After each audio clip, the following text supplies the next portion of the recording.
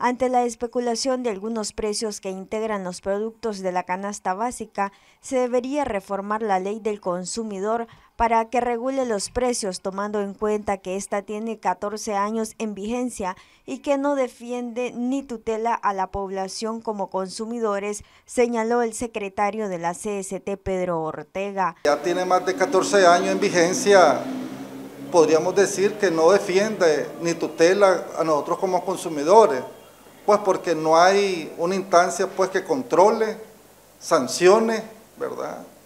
Como un ente regulador.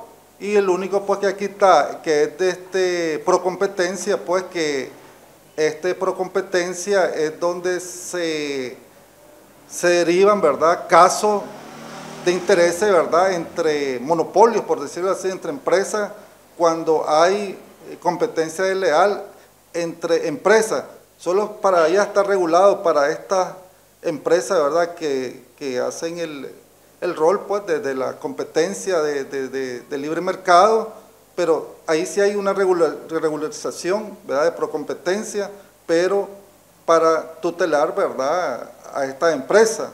Pero para los consumidores no hay una ley, ¿verdad?, que sancione, ¿verdad?, a los comerciantes y empresas que los trabajadores, ¿verdad? Y el pueblo también estamos en total indefensión. Porque solo con andar ahí cada semana, bajó el precio, subió el precio, no vamos a ganar nada. Lo que necesitamos es más coerción, ¿verdad? Más una ley que tutele y que también sancione a empresas y comerciantes inescrupulosos.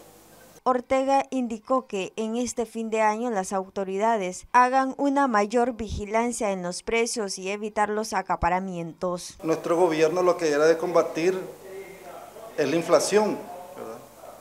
Y la inflación lo produce también los precios de la canasta básica y también los productos perecederos.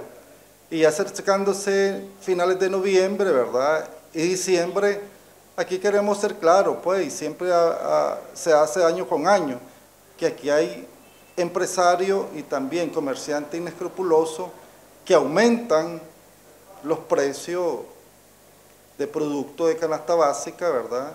Y también de otros productos perecederos, igual como el queso, la carne, el cerdo, todo sube. Necesitamos, ¿verdad?, de la autoridad de nuestro gobierno que controle los productos de la canasta básica y perecedero. Noticias 12 Darlene Telles.